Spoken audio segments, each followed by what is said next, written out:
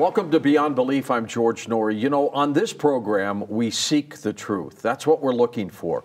We want answers to questions about all kinds of things, including UFOs, unidentified flying objects. What are they? Where do they come from? Our special guest on Beyond Belief is Nick Pope. Nick used to work for the Ministry of Defense in Great Britain. He had the ability to actually look at UFO files. Nick, welcome to Beyond Belief. Thank you, George. It's great to be on the show. When you were looking at these files, when you were at the Ministry of Defense, what did you see? I mean, my gosh, was it a huge folder? What, what were they?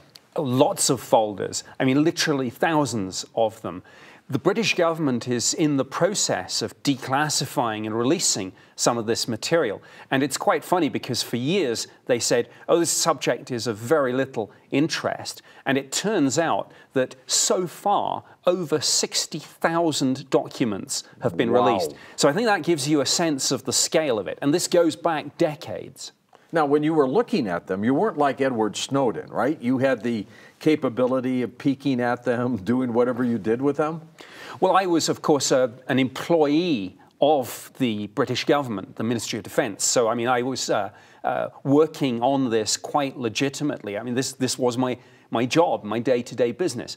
I investigated the newly reported cases as they came in, but I was uh, able to access the entire back archive of these files. So uh, as long as I didn't um, inadvertently make anything public, that was uh -huh. fine. I had uh, access all area pass, so to speak. Or make copies for yourself, Nick? No, uh, sadly not, though I, it was very tempting given some of the material. Uh, but of course now, with the British government themselves declassifying and releasing some of this material, most of it maybe, uh, it's like a blast from the past for me, seeing some of the case files sure. that I worked on, seeing documents that I wrote, which I thought would never see the light of day.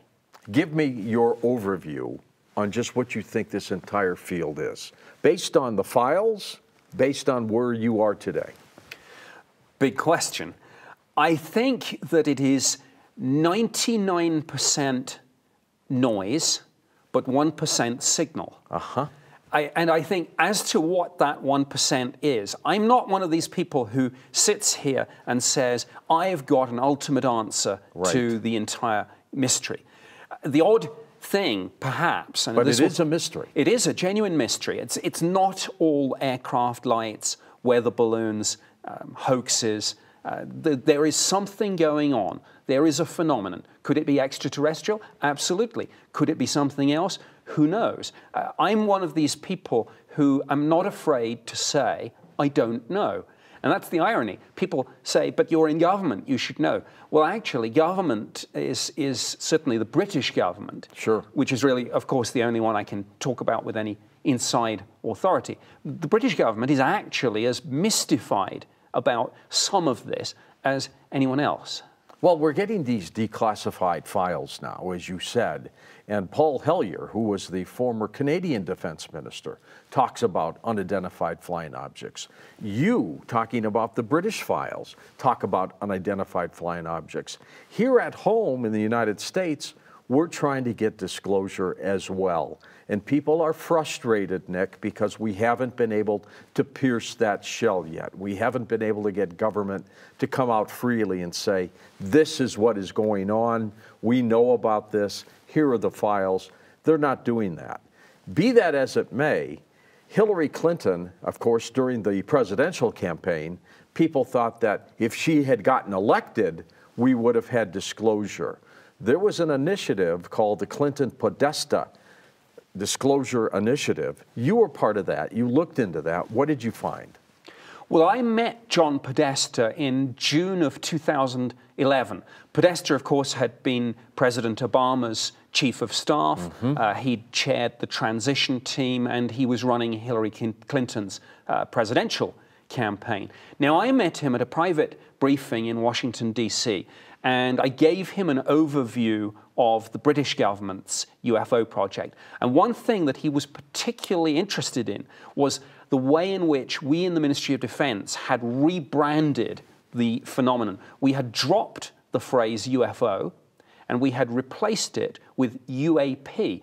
unidentified aerial phenomena. Now, the reason we did that was that we felt there was too much I call it pop culture baggage uh-huh. associated with UFOs. the term. Yeah, yeah, absolutely. So uh, now, Podesta was extremely interested in this, and clearly, uh, though I lost sight of uh, you know exactly how this played out, I, I didn't uh, take part in subsequent meetings, but I was very interested to see that when Hillary Clinton started talking about this, which was quite extraordinary in, in and of itself, of course, in, in the presidential campaign, she used the same phrase. And I thought, hey, uh-huh. I did uh-huh. that. You got into I, it. I, yeah. you, and uh, she, she, I think it was uh, the Jimmy Kimmel show, mm-hmm. a couple of others, but she actually stopped the interviewer and said, you know, there's a new term for this. Unexplained aerial phenomenon.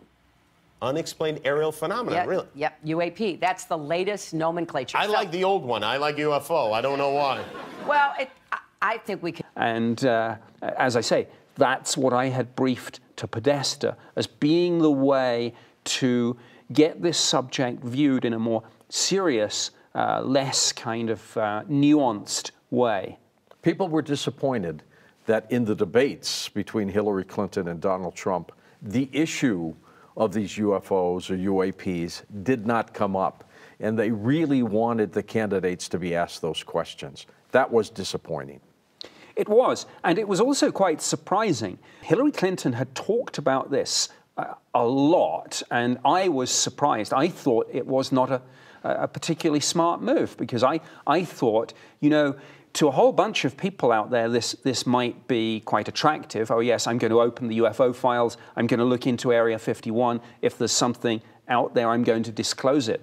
But to a whole other group of the population, I felt this ran the risk of, of portraying her as, as a, a crazy. And, and, you know, people would say, hey, look, I'm interested in the jobs situation, the economy, the economy uh, wars, tax, yeah, all, all, all that. I'm not interested in little green men. And I actually thought that Donald Trump might raise it unilaterally, even if a question didn't come from the moderator. He might try and portray Hillary Clinton as some kind of nut job for talking about this. Now, in the end, yes, it was surprising and disappointing it that it, it, didn't come up. There was a lot of lobbying. I mean, uh, people said, lobby uh, all, all the moderators, tell them what questions you want. And there was a huge viral campaign to get this question asked, but it never it came never up. never happened. Now that Donald Trump is the president, will we get disclosure, in your opinion? Well, I think, I, I, hear people say all the time, oh, this president is going to be the disclosure president. That president's going right. to be the disclosure. And, and, we haven't had that happen. It, it, absolutely not. No, it, since the disclosure movement really first started, and I, I, guess you could debate about how far that goes, goes back, back, but sure. we've, we've cycled through a number of presidents, and each time, you know, certain people associated with this say, this is the one, and it never happens. I think as, as I, I think, uh, hopefully, an impartial observer on this, that if ever there was a president likely to let the cat out of the bag, uh, Donald Trump is the one. I mean, he, he has the advantage of not being a career politician, not being hooked into the system. And I could just imagine that if somebody briefs him and says, Mr. President, here's the file on, on the aliens, he would just come out and he'll go public. He'll uh, tweet it. he'll tweet it. He'll tweet it, or he'll be at one Aliens of his rallies. Exist. Yeah, he'll he'll be at one of his rallies, and when he needs to pull out some some big point to, to maybe, um, you know, if, if he's dealing with some scandal, as inevitably presidents do, to be able to pull this out of the bag and say, by the way, aliens. I mean, that's just massive. So if ever there was a president uh, that might do it, this is the one. But will they know? Will these presidents know? I mean, we, we assume John F. Kennedy knew about extraterrestrials. We think Lyndon Johnson might have been told. What about uh, Richard Nixon? We think he might have been told. Reagan, I'm not sure. Carter wanted answers. I'm not sure they told him. I'm not sure they told Bill Clinton. I'm not sure they told the two Bushes. So, what about the possibilities that they just won't tell Donald Trump what's going on? Well, there are certainly, of course, tensions already between the intelligence community and, And this President, president. Trump. Yes, so uh, it is quite possible that they would take a unilateral decision not to brief him. However, I, I have to say that I, in one sense, I disagree. And I, I know, uh, you, you know, you can list presidents that you think knew, and then some that didn't know. My own take is that if if the US government at official level is privy to this. And, and let's not forget the possibility that this has all been taken outside of government and put in the private sector, Sector. to make Possible. well makes congressional oversight more difficult, takes it outside the scope of FOI, which which is a big thing. Right. But let's assume it is in government. I mean, I think in that circumstance, I believe every president would have to be told, and here's why. Uh, the president is the commander in chief. And what if the whole situation suddenly moves from being mysterious or benign or neutral. To serious. To serious. Yes. The president, as commander in chief, would have to take instant command decisions on what the response could be. And no president could make those decisions if they were having to be briefed from the very bottom upwards. So I think it, it would be incumbent on the, the whole apparatus of state to make sure the president was pre briefed on this so that he could make those decisions instantly and from an informed position. Sounds like the movie Independence Day, doesn't it? Well, yes, I, I loved that movie, and I, I loved the bit, uh, the uh, um, you know, the, the surprise on the president's face when he finds that out. But, But could we really defend ourselves against a hostile extraterrestrial presence? I suspect not. I agree. I, I think it's one of these. We can only take an anthropocentric view of this phenomenon, but there are one or two assumptions which I think are so fundamental that they are legitimate.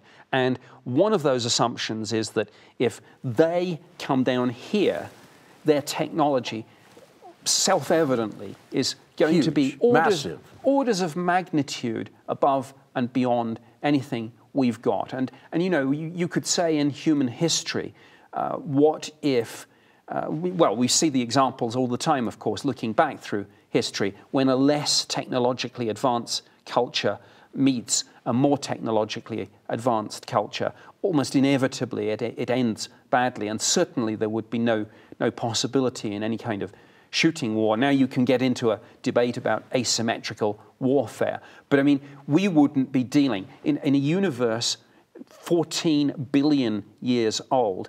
The statistical chances of our coming across a civilization, say, you know, 100 years ahead of us, are vanishingly small. Far more likely we'll be dealing with civilizations uh, t- tens, hundreds Oh of my God, thousands, yeah. millions of years ahead. And what will their technology look like? Well, as Arthur C. Clarke uh, said, it will be indistinguishable from magic. Our CIA, Nick, has released some UFO files, albeit some of them are blacked out. But that's pretty dramatic, isn't it? Absolutely. 13 million documents, I believe, and a classic example, I suspect. And, and by the way, I haven't, haven't had a chance to read them all yet. No, but- not all of them. Knowing you, half of them. Yeah, well, I've skimmed them. but Are uh, they fascinating? Uh, they are. It's a mixed bag. As with all government files, there are, there are a lot of kind of little more than um, letters from members of the public and polite kind of three line Sure. responses. The really interesting stuff is more the policy discussions about what the phenomenon is, what the implications are from an intelligence point of view. But you know, 13 million documents, I think it's a classic example of the way that governments handle this. They just dump industrial quantities of this information in the public domain. Good or bad reports, right? They're all in there. They're all in there. And uh, it's a classic case of the best place to hide a book is in a library. No one can possibly go through all that. And So if you just put it right out they, there. they put it out there so it's hidden in plain sight. And what they do, and I've done this myself with, with the British government's program, and even though I'm retired from the Ministry of Defence, I'm still involved in, in acting as a spokesperson for this campaign. Very often, I get to pick the cases that I talk about to the media. And uh, the government, of course, wants certain things highlighted and they want certain things de emphasized. Nick, we are in an amazing time right now. And, and we are in the 70th anniversary of one of the greatest UFO cases in the United States. And that was, of course, Roswell. With the 70th anniversary, people are still talking about this case. Something happened near the town of Roswell, New Mexico. That event, known as the Roswell Incident, has become synonymous with flying saucer crash, alien visitation, government cover up, or many say a jump to conclusion and gross distortion of the fact. What an amazing case, Nick. Absolutely amazing. So many witnesses. Unfortunately, a lot of them have died by now. But what do you think of that case? Well, there's no dispute that something crashed. That's, that's the uh, incredible thing about this. Um, people that are not familiar say, oh, well, the military would deny that, wouldn't they? But that's the point. They didn't. In, In fact, the beginning, they said it was a down flying saucer, they, right? They, absolutely. It was the military themselves that put out, or caused to be put out, a press release. And they used the phrase flying disc they, they said, we have recovered, you know, there, there had been these so-called flying disc sightings in the US and indeed worldwide. The Foo Fighters. The, the Foo Fighters, but particularly then Kenneth Arnold's um, sighting of nine, I, I think, uh, disc shaped Prior craft. to Roswell. A absolutely. And so the military said, well, you know this mystery, all these flying discs, we have got one of them. So we, the US Army, as it was at the time, had recovered one of these, these craft. It was even on the radio, local Roswell radio, from that press release. But then the military recanted. Why? Well, within 24 hours, yes, absolutely. There, there was a, a 180 degree turn, and the military said, We've made a terrible mistake. It was just a weather balloon. Well, wait a minute. Hello. the 509th Bomb Group, which was based at Roswell, and uh, it was the intelligence officer there, Jesse Marcel, who was involved in the recovery. The 509th Bomb Group was the only atomic bomb capable squadron anywhere in the world at the time. So it was the elite military unit. These people were the best of the best. And if ever there's a bunch of people less likely to misidentify a weather balloon, which is something they were perfectly familiar with, they were launched all the time Absolutely. in the area, um, it was these people. We both knew the late Jesse Marcel Jr., the son of Jesse Marcel, who carted this and flew this material, these craft, to uh, Wright Patterson. And he would always tell us that. Uh, his father told him there was something very unusual here. It was an amazing story. Well, I remember uh, him saying um, that I think he was nine years old at the time, something like that, mm-hmm. and, and with tears in his eyes as he retold the story, he said that his father came back, woke the family up, and said, I won't be able to show, you know, keep this, but I want you to see this because everything that I knew, everything that I believed has changed. Yeah. And he pulls out this, this piece of, it's now kind of called memory metal. Um, you incredibly. Crunch it and it goes right back to its form, right? Yes.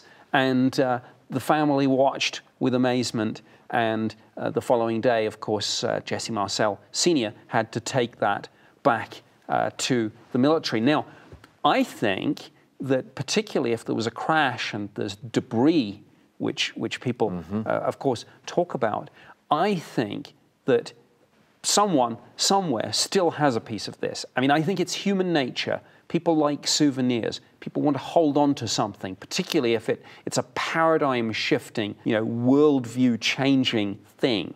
And I've teamed up with the local newspaper, the Roswell Daily Record, and we have a campaign not aimed at the UFO community, but aimed at the citizens of Roswell. And my idea is this to get somebody to come forward who may get, be alive. Get someone to come yeah. forward, but even more than that, going back to the idea that people like souvenirs and mementos, I've said to people, and I've written um, an editorial, which I was told was the most viewed editorial in the history of the Roswell It- Daily it was. Record. Yeah, it Uh, was. well, and I said, search your houses. You know, local people, go into your attics. Somebody has something. Yeah, look at the little box of trinkets on the mantelpiece. Go up and open the, the chest of your father or your grandfather's um, military service um, records. Go through it. And if you find in there a strange piece of metal, give us a call. Have you changed your views on Roswell over the years? Well, I think at first I, I was quite skeptical of this, but I come back to the point that there's no smoke without fire, and an awful lot of these witnesses had nothing to gain and arguably a heck of a lot to lose. They made no money. It was nothing. No, these people weren't speaking out for money. I don't think any of them um, ever got paid more than a taxi fare to a TV studio or something like that. But of course, the reputational damage that, that sometimes people get from speaking out about this subject, where still there's this unfair perception with large parts of the media and the public that these are crazy people. Uh, so these, these witnesses put a lot on the line by telling their stories. What about the uh, mortician who talked about they asked him for small little caskets? I mean, my God, how do you make something like that up? It's bizarre. I never met him. I think uh, Glenn Dennis. Glenn wasn't Dennis. It? Yeah, I, I never met him, but I heard that that story. I mean, again, why would you want child-sized coffins? I mean, uh, again, if there's the slightest chance that any of this is true, it, it's no good saying, oh, but this is 70 years old. I, I mean, I've changed my mind on this. Yes, I, I was criticized a few years ago because I, I said, Roswell's dead. I said, 70 years on, time to move on. Right. I was wrong. Of course, I was wrong. Thinking about it now, the point is uh, that length of time doesn't matter. If there is some smoking gun piece of evidence out there, it doesn't matter whether it comes out 70 years or 69. So I, I freely admit that I was wrong to say Roswell was dead. I think it is, in many senses, almost ground zero for ufology. Can we realistically go back and investigate a 70 year old case? There are some things we can't do. I, I'm, I accept the point that, like any cop will tell you, if you don't crack a case maybe within the first 48 hours, your chances of doing so decline rapidly. Uh, the same in the medical community. You'll hear this phrase about the golden hour, I think they, they use. And generally speaking, with the passage of time, um, memories fail, uh, things, recollections uh, are, lost, evidence, it, it can't be secured. But I come back to the point that if there is a piece of this memory metal or some other smoking gun piece of evidence, a document, a film, a photograph, uh, whatever it may be, then even though it's difficult to investigate something 70 years on, it's not impossible. I mean, look, historians all the time are uncovering new records, for example, about the First and the Second World War. Uh, we don't say to those historians, oh, the passage of time me- makes this a, a pointless pursuit. No, absolutely not. When I was a young boy, Nick, my mother brought home a magazine from Look Magazine that had the story of the Barney and Betty Hill case. John Fuller wrote the book, The Interrupted Journey, but it had to do with this New Hampshire couple that claimed that they were abducted by extraterrestrials. It was an amazing story.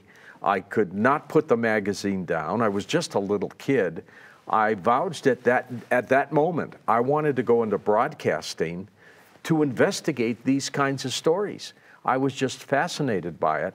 Later on in life, as a 21 year old radio reporter in Detroit, Michigan, I had the opportunity to interview their psychologist and psychiatrist, Dr. Benjamin Simon. Called him up and I said, This is George Noory. I work at WCAR Radio here in Detroit. Can we do this interview? And he said, Absolutely. And I recorded it. I can't find the tape, Nick. It's too old. Oh, it was 1971 when I did the interview with him. But I asked him specifically, I said, were they telling you the truth about their abduction case? And we can get into that case in a second with you. And he said, I don't know. But I'll tell you this they weren't lying. Whatever happened to them, and he hypnotized them both separately, and they both had the same story, which was unusual. He said, whatever happened to them, they believe it to be true. And that was the major story. It's an amazing case. It, it's, yeah, absolutely incredible. I never met Barney, who died, I think, uh, many, many years ago. But I did have the opportunity in the 90s, and I, I think she's now passed too. But they're, I, they're both dead. Yes, but I had the opportunity to meet Betty Hill, and my goodness, what a down to earth but still sort of feisty character. Well, when you met Betty, uh, we've got a clip of her that you've got to see, and then we'll talk more about her. Betty Hill was an amazing person. Absolutely. And at that point, it left the top of the mountain, came out over the highway, and stopped in midair directly in front of us, maybe about 50 feet in the sky. So Barney got out with the binoculars in an attempt to identify the craft. And when he looked up, he saw a circular window with a bright light behind it, and he saw these men standing behind the window looking down at him. And at that point, the craft began to descend, and he became frightened. Ran back to the car saying he thought they were trying to capture him. So we got in the car and we went speeding down the highway to avoid capture. And as we're driving along, there's beeping sounds. That sounds like something was hitting the trunk of the car, and the car vibrated. And then we drove along for about another 30 miles when Barney turned off onto a side road. And here were the group of men he'd seen on the craft standing in the middle of this road, blocking our way. Look at her face, Nick. That woman's not lying. No. Now, you can have a debate about the extent to which her memory might have been Correct. skewed by regression hypnosis, and that's a, a whole other debate. But no, I, I, from that clip and from having met her personally, you know, sat down a, uh, in a restaurant with her, spent the whole evening chatting, I have no doubt, like, like you, that she was telling the truth as she perceived it as to she be. perceived it. That's exactly and, what psychiatrist Benjamin Simon said, that she was telling the truth based on what she thinks she saw. Because I wanted him, Nick, at that age, uh, as I was interviewing him, I wanted him to tell me they're lying. Or I found out in hypnosis that they're making the story up. But he couldn't say that. No, I mean, that would have been a big story for you. You would have uncovered a, a sort of long running fraud, but but you didn't. No. And and uh, I think uh, it, it's a classic case. I mean, one point about it, which I think is is often overlooked. People are kind of nervous about talking about it for understandable reasons. Sure. But Betty was white, Barney was black. Now, for a, a, mixed race couple to put their heads above the parapet, put themselves into the public eye in 1961 uh, yeah. in New that Hampshire. Was, that was unheard of. Yeah, that was not something that it, it, you would want to do. You would not want the attention. I, I think they were putting themselves in, uh, well, a difficult possibly even dangerous Absolutely. situation. It could have been I mean, a dangerous situation. This was, yeah, very different uh, days, and and I think that is another reason that, to me, why I say these people were not attention seekers. My goodness, they, they would be they would have been well advised, I think, to, to keep quiet, keep their heads down. I used to think, could this have been some kind of military operation, in that the people that they saw standing by the road weren't extraterrestrials, but military people. And I keep coming back to no, something dramatic happened to these people in an era where extraterrestrials abducted humans uh, in, in huge numbers, not just Barney and Betty Hill. That seems to have slowed down, slowed down a little bit now, don't you think? The abductions yes, like that? It, it does, and, and it's quite interesting to speculate why. Does it? I, I think there are three different ideas that come to my mind. Firstly, you, some of the true believers would say, well, um, there was a program of some sort that the extraterrestrials were carrying out, Mm-hmm. and now that program is reaching its conclusion, Yeah, they've which got is their results. They're yeah, done. They've got what they needed, which is kind of interesting and a little bit scary and disconcerting uh, itself because it makes you wonder well, when that stage finishes, what's coming next? Exactly. Exactly. If, if I was a little bit more skeptical, though, I like would David say. David Jacobs. Well, yes, Yeah. I think, yes. Uh, and that, that is some deeply scary territory. But if I was being more skeptical, I would say that the three big name abduction researchers um, in the 80s and the 90s were uh, Dave Jacobs, who you've just mentioned, Bud Hopkins, Mm-hmm. God and John. Mack. That's right. And he's gone too. And that's my point. I wonder, I wonder, with my skeptical hat on, whether the uh, tragic death of these two figures, of Bud Hopkins and, and um, John Mack, has meant that people don't have really the outlet that, that they used to. They don't have these, these prolific uh, two individuals as spokespeople. So I wonder if people are still having these experiences in the same sorts of numbers, Sure. but in the absence of Mack and Hopkins, they don't really have the outlet that they used to. So that's, that's my skeptical theory. I think it's slowed down because of vehicles like my radio show, Coast to Coast. I think more people would be calling, talking about their abduction cases. I've seen that over the last 14 years, Nick, slow down considerably too.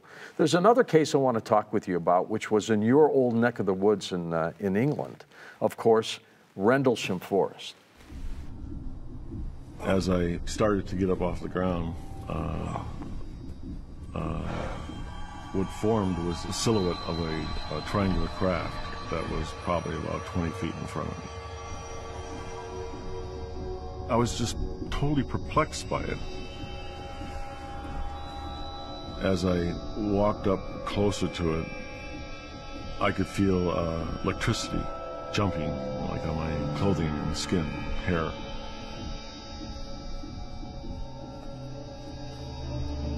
It looked like black glass. It's very shiny. But in the the actual skin of this craft, running through it, was uh, different colors. Uh, there would be globs of whatever blue and orange. I was looking for crew compartments, intake, exhausts. It wasn't aerodynamic. I mean, it had no flaps. It didn't have anything that normal aircraft would have. It's an amazing story, Nick. John Burroughs, former U.S. military officer, he was one of those who was there, actually went up and touched the craft, got sick, I think. What do you think of that story? Well, John Burroughs and Jim Penniston were probably the two that got closest. I think it was uh, uh, Jim who touched the side of the thing.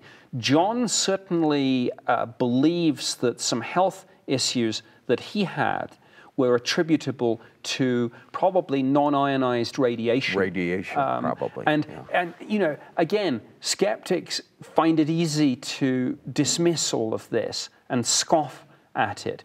But a British government document um, called the um, uh, Project Condign Study Report was it's one of the documents that I mentioned that has been declassified and released.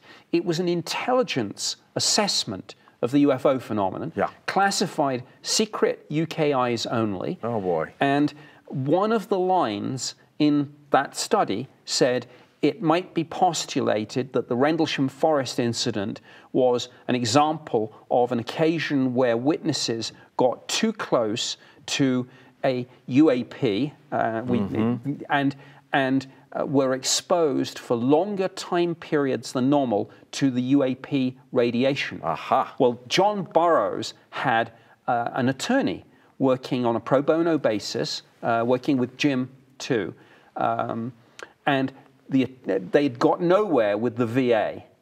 But then uh, Pat Frascogna, the, the lawyer who had been doing this work, went to the VA with this document and said, You denied that uh, my clients were irradiated. Here is a Ministry of Defense intelligence study that might suggest otherwise. Uh-huh. And guess what? They settled instantly. Uh, certainly with John, I think Jim um, uh, has not spoken in public about what his situation is, so I, I don't want to go there. But John, Right. with John, they settled in full.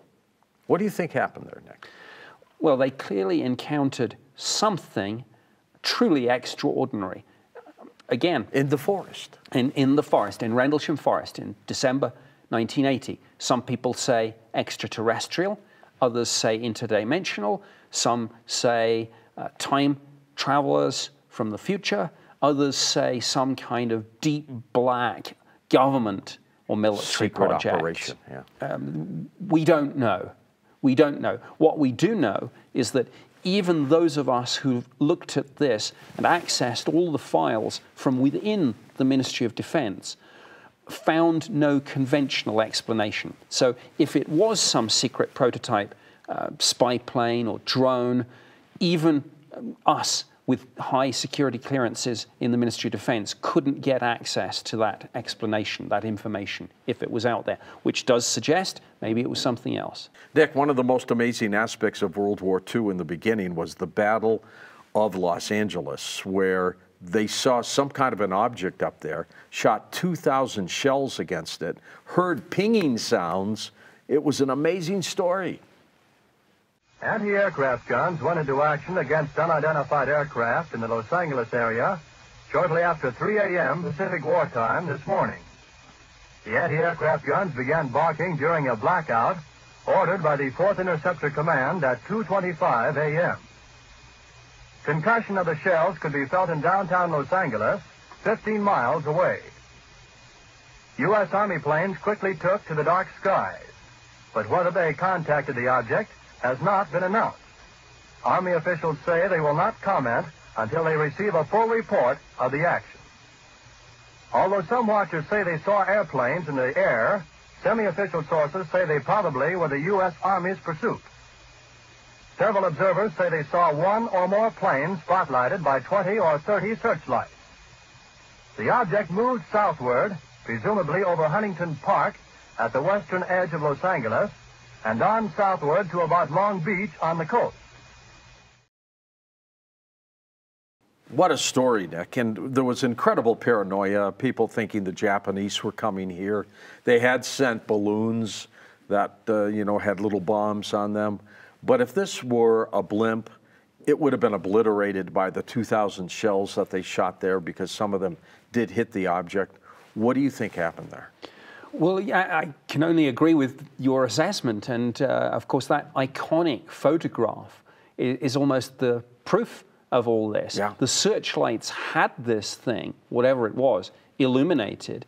Uh, the, the AAA was going up and, and was hitting this thing. So if, if it had been a blimp, a balloon, or even an aircraft from a Japanese carrier, uh, which is, I think, un- unlikely, but uh, it, it would have been, as, as you say, shot down, obliterated. But whatever this was, and it's interesting that, again, in that clip, we heard that uh, there were references to aircraft in, in the plural scene. And again, of course, at the time, we didn't really have uh, the language to talk about anything else except uh, aircraft and blimps. But nowadays, or perhaps uh, you know, shortly after that, uh, we would have we would have talked about flying saucers or Sure. UFOs, and now UAP. But at the time, it was just aircraft and blimps.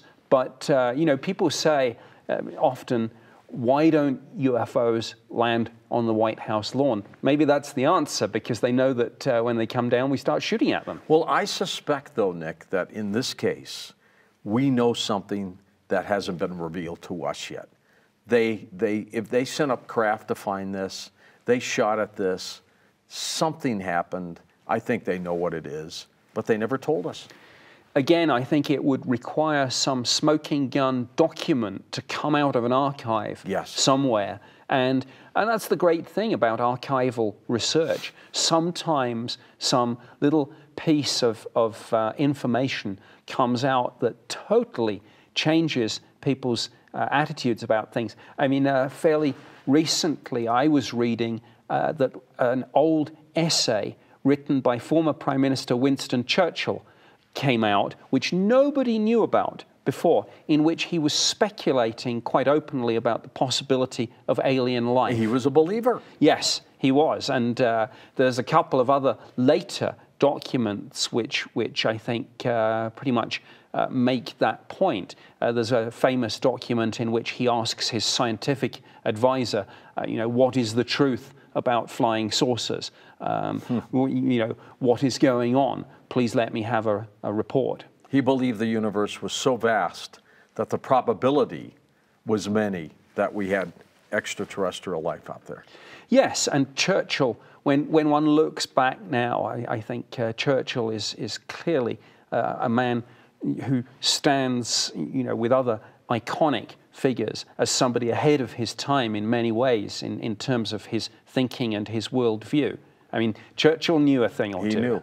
There's one more case I want to talk with you about, Nick, and that had to do with the late police officer Lonnie Zamora from Socorro, New Mexico, where he was in his police cruiser and then saw something in the desert which changed his mind forever.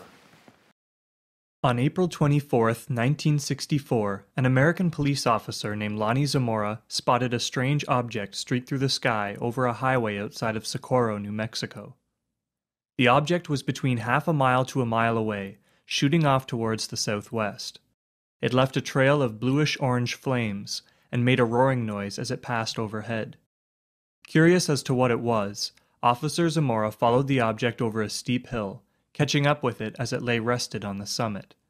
What Zamora saw then has never been adequately explained. I love this case. Me too. It, it, it is, and, and unfortunately, Lonnie has passed on, but he left with us an incredible story, didn't he?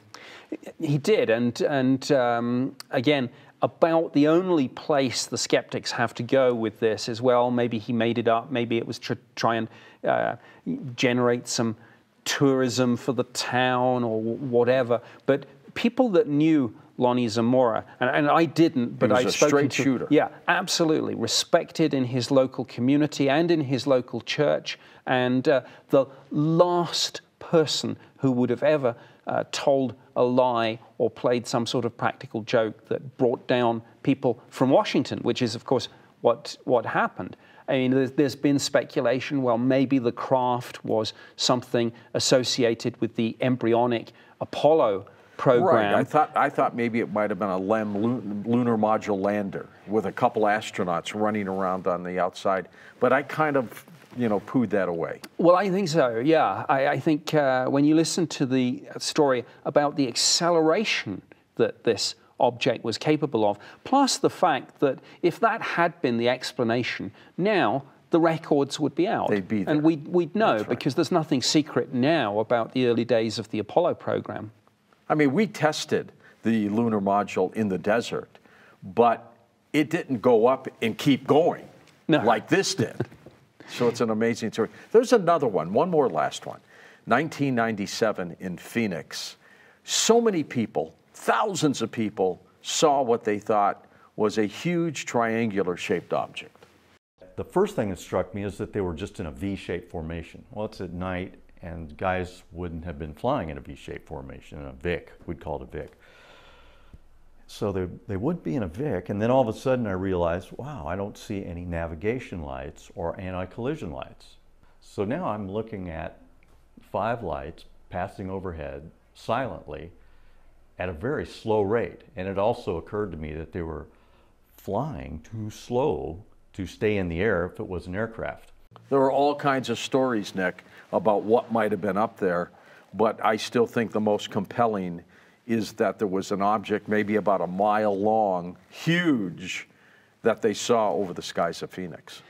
I agree, and certainly I've spoken to many witnesses who saw something that night. Uh, some of those people uh, who I've met when I've been to Phoenix, mm-hmm. and I, have uh, spoken in, in Phoenix. I now live in Tucson, so it's an area I'm very so familiar. Yeah. Yes, and I, I, for the skeptics who say, well, this was flares dropped from aircraft that had come from Davis Monthan Air Force or Chinese Base. lanterns. Yeah, uh, over the Barry Goldwater range and things like that. Well, you know, one of the witnesses was the governor himself, Fife Symington. At the time, yeah, And- exactly. And, you know, if, if ever there was someone less likely to misidentify flares, uh, it would be a former military pilot like, uh, like Fife. Well, you know, he apologized too. I was on the Larry King show with him, and he admitted he made a mistake because initially, when this happened, he had held a news conference and had a person in an alien costume standing next to him, and he made fun of it. And this just goes to show that you guys are entirely too serious. A couple years later, he kind of changed his tune and said, I don't know what this thing was, but I shouldn't have made fun of it. And to me, that was pretty dramatic for him to basically apologize for what he did.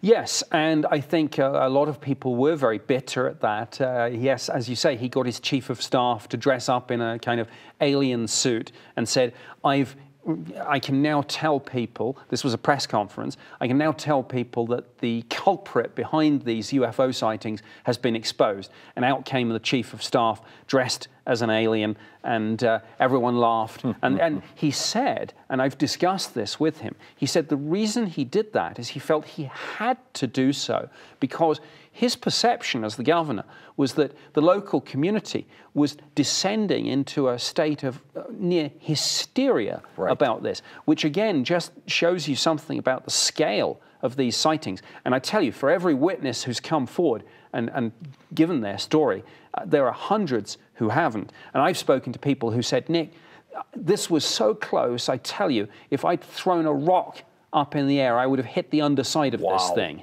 Wow. Dick, you have devoted your career to investigating this phenomenon. In your opinion, what are you chasing? Well, we like to label things. I think it's one of the things that we humans do. So we, we kind of get a phenomenon like this and we, we try and pigeonhole it and say extraterrestrial, interdimensional, intertemporal, what, whatever theory we, we favor. I can't help but wonder whether you know this is just our own. It's, it's like if you see a shadowy figure at the foot of your bed. Right. If, if you're religious, you might think it was an angel or a manifestation of, of the Blessed Virgin Mary. If you are uh, a paranormal investigator, you might think of it as a ghost. If you are a ufologist, you, you might think you are being abducted. What I'm saying is that we interpret this, this through our, our, the lens of our own cultural um, background and our own belief system. So we pigeonhole all these things aliens, ghosts, angels, demons. My theory is that these labels are, are just very anthropocentric attempts to categorize and define something that may be totally beyond our comprehension. That could be. When the dust settles, when the files are read, what will we have? Well, I think we will have. it- It's what I uh, talk about as sort of we we. It's it's a reverse of the normal situation. We'll be able to say what UFOs aren't. In other words, we'll be able to look at all the material in this files and, and we'll say, look, the government itself, governments all around the world have thrown a huge amount of resources at this and still haven't really, I think, managed to define, well, as I say, At least to us. at least to us. What we might not be able to do from all these files uh, is say, ah, that's the answer. And indeed, there may not be a single neat answer to the whole phenomenon. There may be lots of different things going on.